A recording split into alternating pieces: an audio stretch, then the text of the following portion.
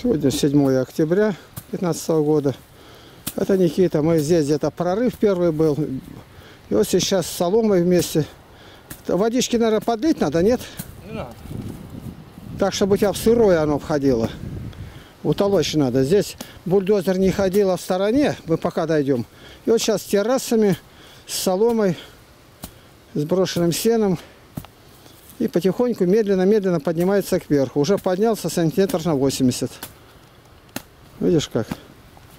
Вот рядом это самый пруд, который делаем, называется храмовый.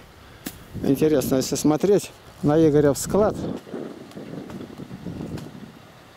то прямо над складом, я думаю, увидят люди. Храмовый крест там видать. Вот. Меня интересует еще и э, старые пни. Вот пни. Они уже полностью отжили. Тут наполовину гнилье в них. Но их спилили. Вот оно, положили. Только спилили. Ну, дожди, конечно, шли. Со всех сторон брызнули отростки. Какая жизненность.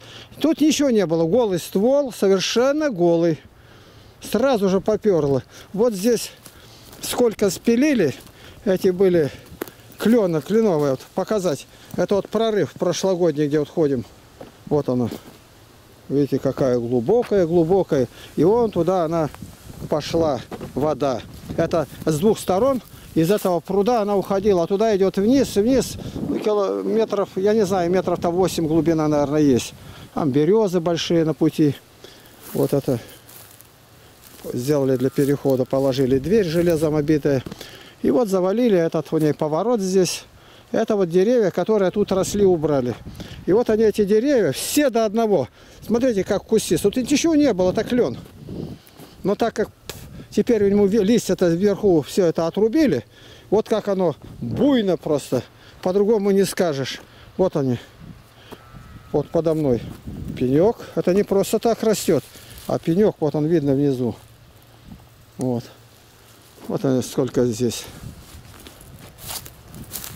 Жизненная сила, однако, какая. Просто рвет кверху. А это вот рядом только сколько было. Тут большая яма была. Бульдозерит все сравнял. Теперь нам легко ходить по ступенькам. Попутно показать, когда землю делают, э, ну, делают, имею в виду, в земле ступеньки, они все обрушиваются. Поэтому тут надо знать, как делать. Вот я сейчас подхожу. Когда рубишь, э, то до края не дорубать. А естественно немножко оставлять. Вот где травка растет, ну, две трети я не трогаю, а одну треть ноге, ноге ступить. Вот здесь ничего не было. Гладкий вот такой склон.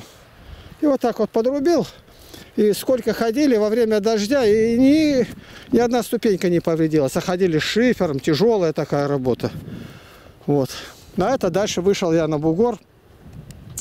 Видать, лагерный пруд. Тут крещение вот в этом месте.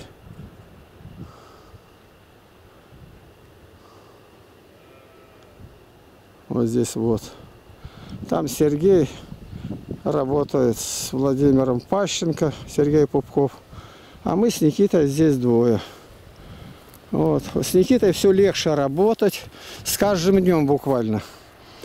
Сегодня только начали там пилить где-то. Он лезет куда не надо, там, и он не видит, что дерево это зацепилось за другой сук, сук зависло, оно уже оторванное. И это выше намного головы. А тот сук зацепился еще в промежуток. И надо понимать, что зачем держится. Подойти нельзя, поэтому то, что зависло, надо аккуратно обрезать, уменьшать вес. Ну, а потом найти, главное, что ударить, потом отпилить, и оно рухнет. И на полу тогда добить. Ну и только гляди за ним, он бы голову сложил. Вон там пни и тоже дают ростки. Вот это 20 э, лет назад тут, о, березку одну свалили. Ну, еще одна осталась. Вот как. 20 лет назад бульдозерист был здесь Ушаков с Требрихи. Замечательный человек, как много он сделал. И нынче Бог дал бульдозериста. Тоже хороший. Вот сейчас даже шофер, видите, как разговариваем на КАМАЗе. Тоже Э, поехал в лесо, где пилят доски. Только познакомились. Хорошие ребята.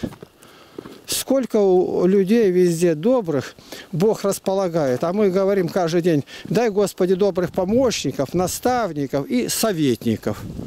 И у нас отовсюду дают советы. Конечно, все один человек знать не может. Ну, кое-что даже переделываем. Взвесим и думаем, вот это делали, ну-ка на одну ступеньку ниже сойдем, и маленько по-другому надо ее вывести, сдвинуть вправо, влево.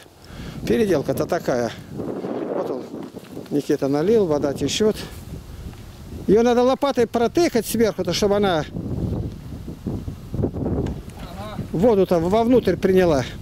Ты разные полоски, ямочки наделай. Да, в общем-то, я к тебе могу сейчас сойти, Никита. Сейчас сойду.